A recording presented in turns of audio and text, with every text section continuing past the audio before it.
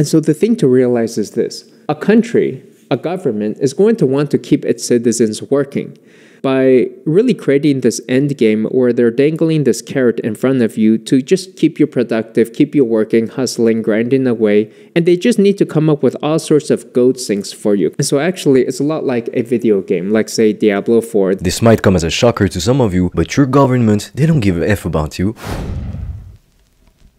In this video, we are going to take a look at Money is a PSYOP, how they keep you working by tech TechLead. So what does it mean exactly? Is money really a PSYOP? And how do they keep you working? And who's they to begin with? Now, I've come to the realization that work is a PSYOP. Money itself is a bit of a PSYOP, actually. Like, you take a look at myself, I'm a millionaire, more than that. And it's like, do you know how much money I spend in a day? About $10. I spend maybe 10 bucks a day, there's absolutely nothing to buy, and yet I see so many people around me hustling, working hard, giving up their entire lives in this chase for luxury. In my opinion, if you are a millionaire but you're not going to spend your money on the things that you need or that you enjoy, what's the point of chasing that million dollars in the first place? Now fair enough, if you're not into luxury, should you chase this kind of lifestyle? Not necessarily, it's not made for everybody. And at the end of the day, everyone should be living their life the way that they want to. If you want to be a millionaire and just save some cash and you don't want to spend your money really, you can do that. I mean Warren Buffett, he still drinks Coca-Cola and he eats at McDonald's pretty often actually. There's this book called The Millionaire Next Door and in my opinion, it does a great job at showing that making a million dollars or being worth a million dollars, being a millionaire, it's not actually what you would think. Because there's being a millionaire and being a millionaire. Now what's the difference? There's the Instagram millionaire, like they're showing you the lifestyle, the cars, the fancy vacations, the dream life. And then there's the net worth millionaire. It's like people who maybe invested in real estate at a certain time and over time their investment grew and now they are worth a million dollars. However, if you look at them, they don't have a crazy lifestyle. So both of those people, they are millionaires. It's simply that they made their wealth differently and they use it differently. Now, is it a bad thing to chase luxury, to want a better lifestyle for yourself? Of course not. The truth is, if you are a subscriber on my channel, you probably want to have an abundant life for yourself. You want to travel, to pick your own schedule, to work from wherever you want in the world, whenever you want, to be able to give gifts to the people that you love, to buy anything you want without having to take the price tag into consideration. And you're damn right. I believe that life is suffering. However, let's suffer for something worthwhile. Let's suffer to achieve our goals, to build a better bodies, to be healthier, to build a thriving online businesses, because then the suffering is meaningful. I don't believe in just suffering for the sake of suffering. If you have an opportunity to start your own online business, to get in shape, to get that job that you've always dreamed of, whatever it is, why would you not give it your everything and follow that opportunity? Truthfully, I don't share my goals with people. And the reason why is because a lot of people, whenever you tell them your goals, if you have very ambitious goals, like you're a very driven and determined individual, so you aim really high, a lot of people, they are not going to understand you. And so they're going to criticize you, to make fun of your goals, to say that why are you chasing luxury when some people, they can't even eat? Well, the truth is, if you don't have any money, you cannot solve world hunger because you're not going to feed people with your ideas and with your thoughts. You need money to help people. A lot of people are scared that if they make more money, they'll become bad or that they will have to do nasty things to get to the top. Truthfully, some rich people are dicks and some rich people are very generous and kind people. And the same thing applies to poor people. I like to say that money amplifies who you are. If you have a lot of money and you're very kind, very generous, you'll do more good with the money that you have because that's more resources at your disposal to do good in the world. Now, if you're very selfish, you don't care about other people and you only care about trivial materialistic things, then whether you make more money or less money, you'll be the same person anyway.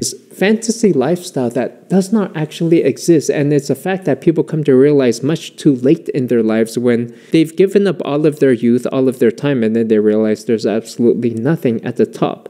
And that the main purpose of money is maybe it's not so much for personal consumption. Right? It's like really how much money can a single person spend? I don't know, ask any rich kid. You know, how much food can you really eat at a buffet at some luxurious $1,000 Michelin star restaurant? All you can really eat is about a bowl of rice and meat and maybe some vegetables. That's really about all you really need. I don't think that people are looking to start online businesses just to be able to afford some food. If you're watching my channel frequently, the reason why you do so it could be because you find my videos entertaining or valuable, but for a lot of you it is because you want to start your own thriving online business. Some of you might already have a business and you want to grow it, you want to be more successful because you have big goals and you are aiming for the top. And I don't believe that when you reach the top, there's nothing there because otherwise all the people who put in the work, who sacrificed, who put so much effort into climbing climbing that success mountain, they wouldn't stay at the top if the view from the top it was horrible. When somebody goes from being poor or being middle class to being wealthy or being rich, they never want to go back. Like a bowl of Panda Express is gonna do it for you, maybe five, ten bucks, and that's that's really about it. That's all you can really eat. You'll be full after that, and you're not going to want any more. That's true, but also at the same time, according to this kind of logic, we could say, why do people buy some Ferraris? Why do people buy Gucci? Why do people buy two fancier private schools? Why do people go and stay in five-star hotels or dine in five-star restaurants? Because these things, they offer a different experience, a premium experience. At the end of the day, money sure it buys you the necessities, the water, the food, the electricity, the heating, the roof over your head. It buys you those things. But then as you have more money, it buys you comfort. It also allows you to have a better environment, so a better network, more peace of mind, more well-being. And you cannot just look at a human being and say, okay, all you need is food, water, and a roof over your head, and you'll be happy. Because most people in the world, they actually have this. If you're watching this video right now, chances are you have this. But are you really happy? Do you feel fulfilled? Do you feel like you are doing something meaningful on a daily basis? Probably not. What I personally love is to set goals, to set challenges for myself, and to see that day after day, I move forward, I make progress, I do what it takes to crush my goals. That's what personally fuels me, drives me. So in that sense, we're not really like other animals. Because yes, human beings are animals, but at the same time, we have some needs that other animals simply don't have. Like for instance, the need to accomplish ourselves, to contribute to the world in some way, to do something that we will be proud of. And so the thing to realize is this a country, a government, is going to want to keep its citizens working by really creating this end game where they're dangling this carrot in front of you to just keep you productive, keep you working, hustling, grinding away, and they just need to come up with all sorts of gold things for you. And so actually, it's a lot like a video game, like say Diablo 4. This might come as a shocker to some of you, but your government, they don't give a F about you. They don't even know your name. They don't even know that you exist. You're just one more number on a spreadsheet for them. That's all you are. I don't personally believe in politics because to me, each on the sides, they have their own agenda, and at the end of the day, they want to fulfill their own agenda. They don't care about you. They simply have to make it look like they care so that they can win elections. But deep down, they're selfish because we are all selfish. That's part of being human. But it's completely true that governments, they want you to get a job, to go to university, to get massively in debt. Like a lot of people, they get 100k in debt, 200k in debt, 300k in debt. So then you get your job and some people, they don't even get a job. Like it's becoming harder and harder to get a job because of AI and because of automations, for instance. And also there's more people in the world, so more competition. But you do that, you follow that path and you never question it your entire life. And then you wake up early, you go to your job, you come back, you're exhausted, so all you want to do is to watch YouTube, Netflix, or play some video games. You don't want to take some time and to build your own online business or to invest in the stock market or in real estate to break free out of this system. A lot of people are going to say there's a matrix, and a lot of other people, they're also going to make fun of the people who said that there is a matrix. However, in my opinion, you can't really deny that there is a system in place that quite frankly doesn't care about you on an individual level. Governments just want you to go to your job, to pay taxes, and to die. That's it. They're looking at what's in it for them, not for you. But so how do they keep you working? Like he said, they create some kind of end goal. They say that if you study hard your entire life, you go to this job, you're 300k in debt, then if you work really hard, you might be able to at some point buy a house or an apartment, have a family, and that's the dream that they sell you. Two weeks of vacations per year, a salary that is barely ever going to increase, and if it does, it's very small increases, and so that's basically the dream that they sell you. Now there's an alternative path, and that path it is to become an entrepreneur, to start your own business. Now there's a difference between starting a regular business, a brick and mortar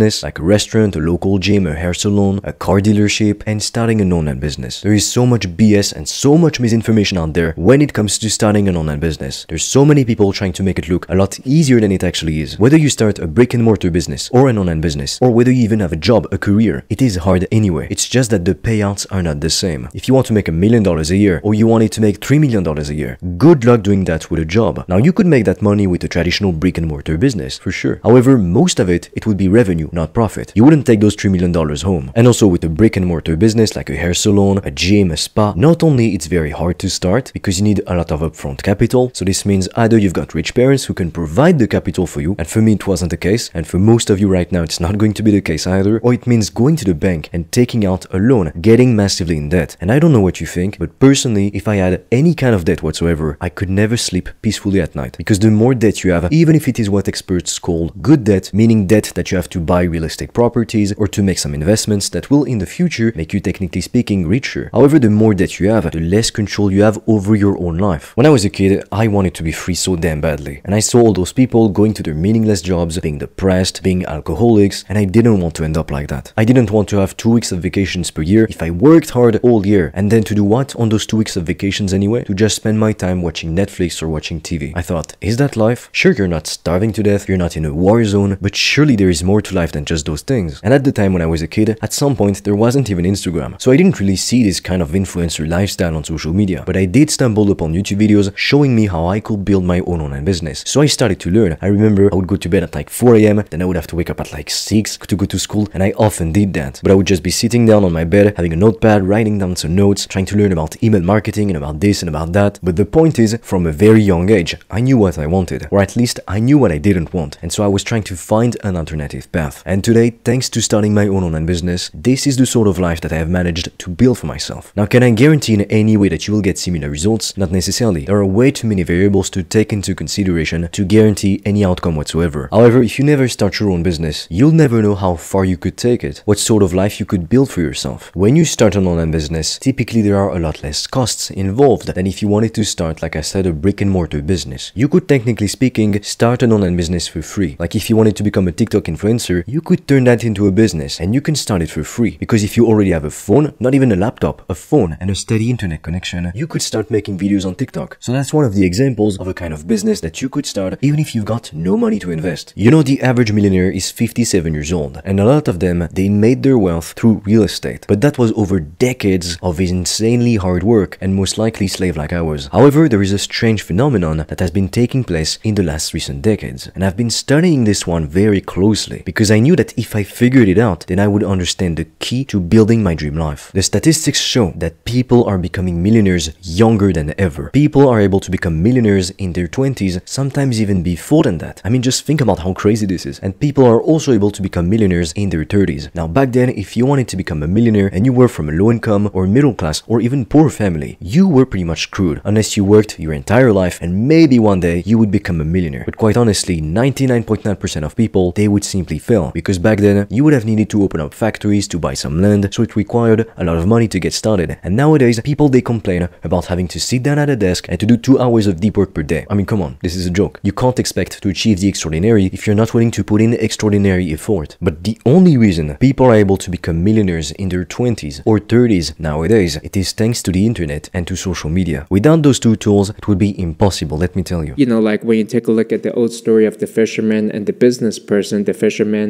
says, well, why do they need all these fancy cars, business suits, and fancy houses when they already have the perfect life living on an island eating fresh fish? They already have everything that they need right there. The problem, of course, is that modern society has brainwashed so many of us into believing that a career and the pursuit of money is somehow really going to make us happy. In my opinion, a career is only going to make you happy if you feel called to do it. If that's something that when you wake up every morning, you feel like you have to do it, but like in a positive way. Like this is what you were on earth to do. Like it's your mission. Maybe you're in real estate and you're very passionate about it. So it's amazing. There's nothing wrong with that. Just take a look at Ryan Serhant. The guy doesn't hate his life. If anything, his career allowed him to have an incredible life. But is it going to be the case for most people? Quite frankly, no. Most people are going to pick a job just because it makes money, obviously. I mean, that's what everybody goes to school for, to get a job, to make money. And some people, they will be satisfied with their 9 to 5, or whatever the schedule is. But some others, they simply won't, because they want more than that. Now, I'm not like one of those people who is going to claim that everyone can be a millionaire, or everyone can be an entrepreneur. Because honestly, I don't believe that's the case at all. But chances are, if you are watching this video right now, or if you watch my channel frequently, you are an ambitious individual. You want to obtain the best life. And why should anyone try to make you feel guilty for wanting to experience the best things that life has to offer? There is literally nothing wrong with that. You're alive, so you may as well live. Because soon enough, time's up. You're going to find actually that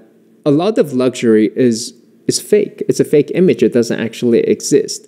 And the reality of luxury is that it's a lot like those travel Instagrammers, right? They show you this beautiful beach, this paradise place, and, and the reality is it doesn't really exist. Maybe it's very hot there, it's not comfortable, the food's pretty bad, there's mosquitoes everywhere, and the time wasted in the logistics and transit just make that trip not really worthwhile, and yet they're going to celebrate this idea and push it on you. He's got a point about influencers in general, especially about the mosquitoes. But it's completely true that most people, they want the ideal lifestyle. Like I've seen so many videos on TikTok or YouTube about billionaire visualization or look, I'm going to manifest this kind of life. In reality, most people, they never will. And for a reason, it is insanely difficult. But more so than that, most people, they're simply not willing to put in the work and to make the necessary sacrifices to make six or even seven figures a year. However, is luxury fake? Is it not worth it? I'm going to tell you from a fact, from my own experience. I've experienced poverty and I've also experienced being wealthy. And I can tell you for a fact, being wealthy is infinitely better than being poor. And now you might think, okay, thank you Captain Obvious, because yeah, obviously, but like I said, there are two very different types of millionaires. Some millionaires, they only want to spend $10 a day, they're very minimalistic, they don't really care about spending much, they don't want the Rolls Royce, they just don't care, because they care more about the freedom. And some other millionaires, they care just as much about the freedom aspect, but they also like the nice things. You know, Jeff Bezos, 59 years old or so, and he's retired living it up. But if you take a look at his actual lifestyle, let's see what he's doing with all of his wealth. Okay, number one is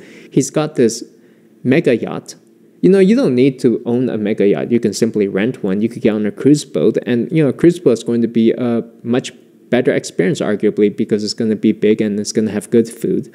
You don't need to buy that thing. He's got this $165 million mansion, but who's going to live in this thing? Just he and his wife? Like, I mean, you could live in a hotel. A hotel is going to cost more than that. And really, my view is that with the realities of modern day living and Airbnb and hotel economies, the rental economy is so good that you can just rent anything you want. You really no longer need to own the thing unless you want to have a business you're running on the side. He's got a point. I've seen many penthouses and you can rent them for like $8,000 a month up to $10,000 a month. And that's in London, Canary Wharf. So honestly, to live the sort of life that you want to live, you probably need less money than you actually think. Like a lot of people, they think if they want to live a crazy lifestyle, like the kind they see on Instagram, like on my Instagram, they need to become millionaires or even multi-millionaires. In reality, that's not necessarily the case. Just do some research, figure out how much it's going to cost to live the sort of life that you want, and then you'll probably realize, ah, it's not actually like seven figures. Now, with that said, if you want to start your own online business, but you don't know what to do, you don't know where to start, I have recorded a free video in which I am going to analyze every popular online business model. Together, we take a look at the pros, at the cons, and I am also going to share with you the three-step process that you can use to start your own business today and start getting your first customers. The link is in the description below. And with that said, as always, I am waiting for you on the other side.